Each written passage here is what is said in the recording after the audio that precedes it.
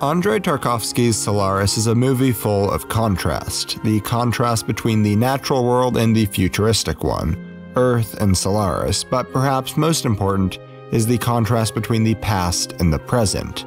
This is central to the film's main message.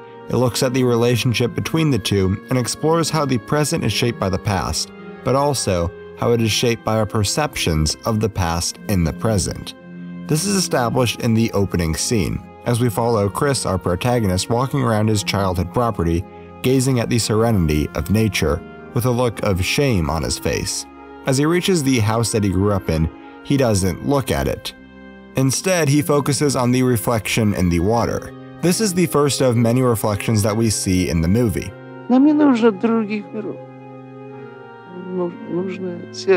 And throughout the film, reflections serve a number of thematic purposes. In this case, reflections are a visual embodiment of memories. Chris doesn't focus on the house itself. Instead, he looks to the memories and everything that is associated with the house.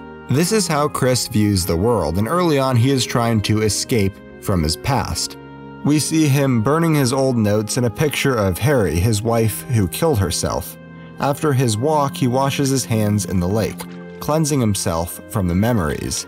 Solaris tells us that we are shaped by our memories. At the beginning of the movie, Chris tries to run from his past, when he really needs to embrace it to fix himself today. Very early on, we realize that Chris has had a traumatic past. He has a strained relationship with his father and hardly speaks to his mother. He may try and abandon part of the past, but ultimately, it is what he is shaped by. This is one of the biggest contrasts between Chris and his father. Whereas Chris wants to distance himself from the past, his father wants to relive it and embody it. Этот дом похож на дом моего деда. Мне он очень нравился. И мы с матерью решили построить такой же. Back on Earth, Chris can choose to avoid the past. However, on Solaris, he has no choice but to come face to face with his past. While on the space station in orbit around Solaris, the living oceans of the planet create seemingly living representations of memories, called guests. For Chris, the planet creates a manifestation of Hari, while on the space station, there is no way to avoid these guests. Instead, you just need to face them. At first, Chris tries to erase his problem by sending Hari out of the station in a rocket, but when she reappears, he chooses not to try and hide from her, but instead to embrace her. His reaction to Hari encapsulates how people respond to trauma. The guest version of Hari is a mere reflection of the real one. She was created from Chris's memories and is therefore incomplete. Despite that, he gives her unequivocal love, loving her more than he loved the real one. Chris's affection for her comes from his past wrongdoings, his never truly loving her, which led to her suicide. It would be safe to assume that Chris doesn't truly love the new one. He loves the idea of her, and the idea that he could have a second chance to right his previous wrongs. As Chris shows her real love, he succeeds in elevating her humanity. By all definitions, she isn't human. Тогда проделайте анализ крови вашей жены. Зачем? А это вас несколько отрезвит. But as she explores life through Chris, she slowly starts to embody humanity. During this scene in the library, she studies the intricacies of this painting. She focuses in on every detail until the painting comes to life through the power of film. We hear the sounds of animals, people, and nature. We watch birds fly across the screen and see the painting come to life as Hari becomes human. She and Chris levitate off the ground and into the air, a representation of enlightenment. We watch as she becomes human and he becomes truly happy, and it looks as if they have both found what they are looking for. Until he loses her again. The present catches up with the past, and Chris is again alone.